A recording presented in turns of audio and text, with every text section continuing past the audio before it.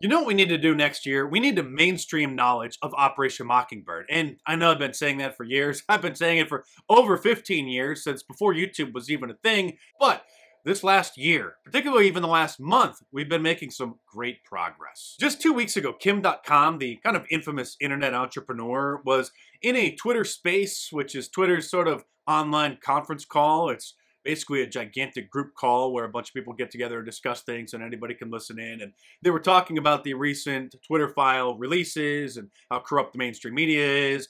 And he was encouraging people to research Operation Mockingbird. Glenn Greenwald, the independent journalist who Edward Snowden leaked those NSA documents to back in 2013, proving the Orwellian extent that the government goes to to spy on American citizens, violating the Constitution, he mentioned it briefly on Tucker Carlson's show last year in December 2021, which I covered at the time, but here's the clip just in case you missed it. If you go and Google, and I hope your viewers do, Operation Mockingbird, what you will find is that during the Cold Cold War, these agencies used to plot about how to clandestinely manipulate the news media to disseminate propaganda to the American population. They used to try and do it secretly.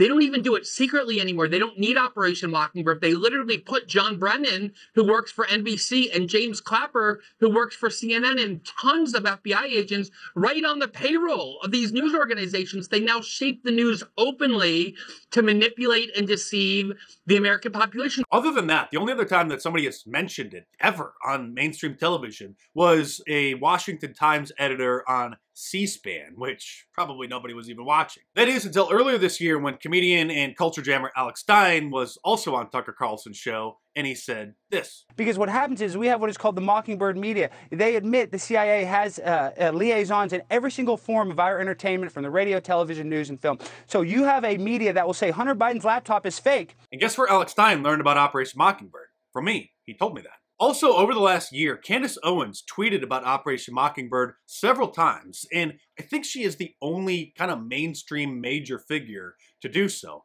And guess what she talked about just a few weeks ago on her podcast? So, yeah, it does sound like they are a bunch of mockingbirds, which is appropriate, of course, because that was the CIA program title. It was called Operation Mockingbird. You are not a conspiracy theorist for knowing the truth. And you are correct if you know about the Mockingbird being something that the CIA has never discontinued. So, first and foremost, in case you are not aware of what Operation Mockingbird was and still is, it was a large scale project undertaken by the CIA beginning in the 1950s, in which they recruited American journalists into a propaganda network.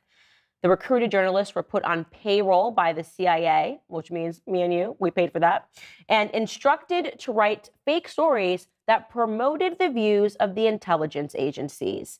So some journalists were assets to the CIA and were on the payroll. Other journalists were unsuspecting assets of the CIA because they thought that they had a leak, that they were being given information. And they ran with the stories because they thought they were being told the truth.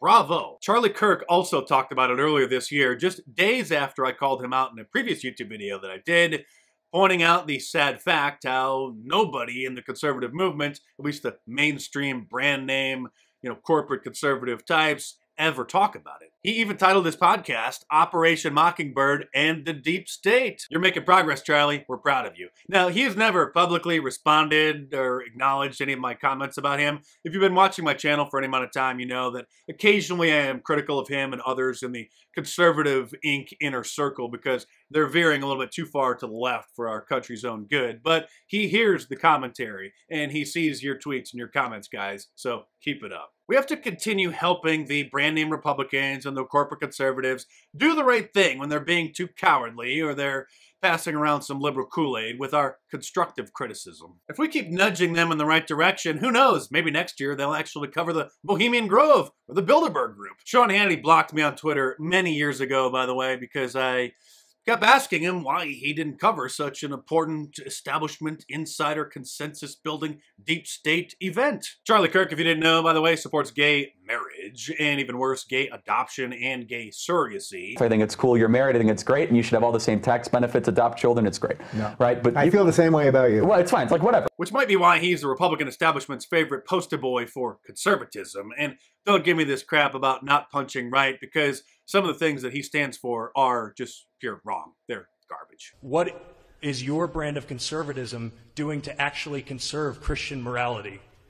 If we're ceding to the left on transgender, gay rights, gay marriage, we don't want that in conservatism. So you don't want him in the conservative movement? I just want to be very clear. Let's just be. Rob, So, so you don't, so you don't want me in the movement? hold on a sec.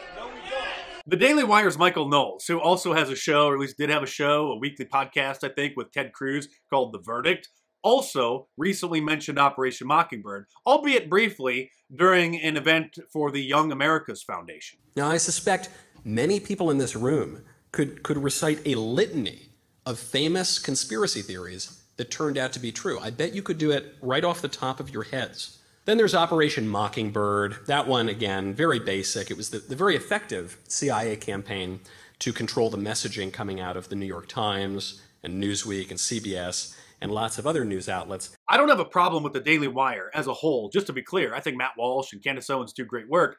I just don't like little whiny neocon never Trumper Ben Shapiro, who is also just like that character Uncle Leo in Seinfeld sitcom, who sees anti Semitism around every corner. It's yours. My family's nuts. They're crazy. Yeah. Yeah. My uncle Leo, I had lunch with him the other day. He's one of these guys that anything goes wrong in life, he blames it on anti-Semitism. You know what I mean? The spaghetti's not al dente, I'll cook, anti-Semite.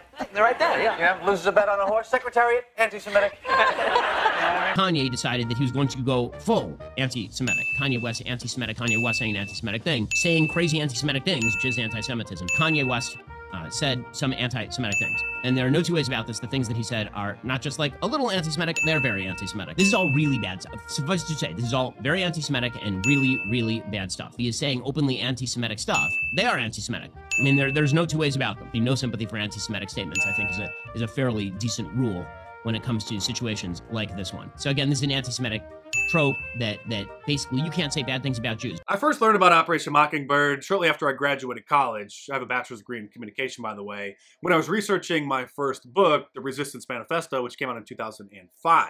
Back then, the resistance meant resistance against the New World Order. And then, obviously, after the 2016 presidential election, the Democrats co opted that term and completely tarnished it by calling themselves the resistance. But that book, which is still available on Amazon.com and gets more relevant as time goes on, has a subsection on Operation Mockingbird. And here's me back in 2010, over a decade ago, on a little known internet radio show, one of the few that would actually listen to me back then. And if anybody wants any real hardcore evidence of this, just look into the Church hearings back in the late 1970s and, mm-hmm. and look at the published report about Operation Mockingbird back in the 70s. I mean, it's, it's just fully a congressional hearing investigating the CIA, and they uncovered and admitted that the CIA was paying at that time like 200 and some million dollars a year. Uh, in, according to uh, you know adjusted for today's inflation, it's a billion dollars a year. They were paying off the reporters uh, and the editors really to to gatekeep, to kill stories, and to plant propaganda. So I mean, there there's your evidence right there. Someday Mark Dice was right will be a meme, but strangely, or I guess expectedly, none of my previous videos on Operation Mockingbird show up in the search results on YouTube unless you actually add my name to the search terms. There are dozens and dozens of videos, many with less than 100 views, but mine with over a quarter million views just seem to have vanished down the memory hole. There's so much more that I can get into in these brief videos, so you should definitely read my books because there's an entire chapter in The True Story of Fake News and the Liberal Media Industrial Complex on Operation Mockingbird, not to mention they're filled with a whole bunch of other information that I can't really get into here on YouTube. If you like my videos, you're really going to love reading my book. So head on over to Amazon.com and pick up The True Story of Fake News, How Mainstream Media Manipulates Millions, The Liberal Media Industrial Complex, or my latest Hollywood Propaganda, How TV, Movies, and Music Shape Our Culture in paperback from Amazon.com, or download the ebooks from any of the major ebook stores. And of course, there's a link to the Amazon listing in the description below. So click it and head on over there and check them out.